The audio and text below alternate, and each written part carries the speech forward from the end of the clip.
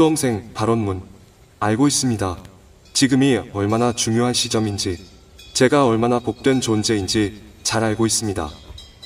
사람 몸 받고 태어나 스스로 생각할 줄 아는 온전한 사고력과 하루를 꾸려갈 줄 아는 건강한 육체는 귀하디 귀한 자산임을 잘 알고 있습니다.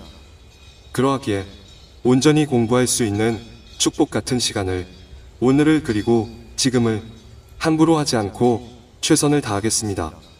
주변에서는 공부하기 힘들 거라 염려해 주지만 다만 불안한 것임을 저는 알고 있습니다.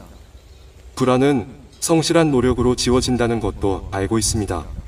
그러기에 모르는 것과 아는 것을 분명하게 구분하여 부족한 것은 채우고 아는 것은 굳건히 하겠습니다.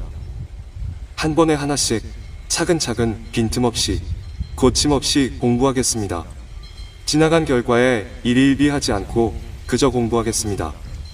그러한 마음으로 그러한 노력으로 함께 공부하는 친구들을 격려하겠습니다. 항상 염려해 주시는 어른들께 성실로 보답하겠습니다. 인내는 모든 것을 성취케 한다는 말씀을 기억하며 스스로를 믿고 그동안의 노력을 믿고 시험이 끝나는 순간까지도 결과가 나오는 마지막까지 큰 고함 소리에도 놀라지 않는 사자처럼 묵묵히 하루하루를 채워가겠습니다. 그리하여 학문을 익히는 순간순간이 영혼까지 단련하는 수행이 되도록 하겠습니다. 가족과 이웃과 사회에 당당히 서서 모두와 함께 웃을 줄 아는 행복한 사람이 되겠습니다. 어둠을 밝히는 따뜻한 등불이 되겠습니다.